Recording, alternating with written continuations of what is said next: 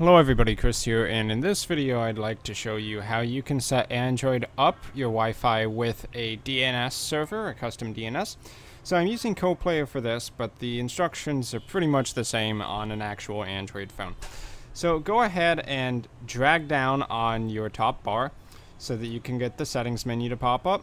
Click on this icon over here with the person, go to settings, and from there you're going to need to select Wi-Fi. Uh, press and do a long hold on your Wi-Fi connection. Go to Modify Network. And at the bottom, you may see a checkbox that says Show Advanced Options. You need to check that if it's there. Scroll down further where it says IP settings. Change it from DHCP to static. Scroll down further. You'll see settings for IP address, gateway, and further on, uh, DNS settings.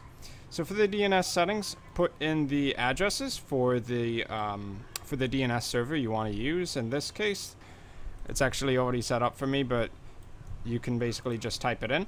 So for me, it's 208.67.222.222, which is Open DNS, and then the second one is the second Open DNS server. Once you have that done, go ahead and hit save and then that's basically it. Um, you have your DNS added to your Wi-Fi connection on Android. So I've been Chris, thanks for watching, and I'll see you in my future videos.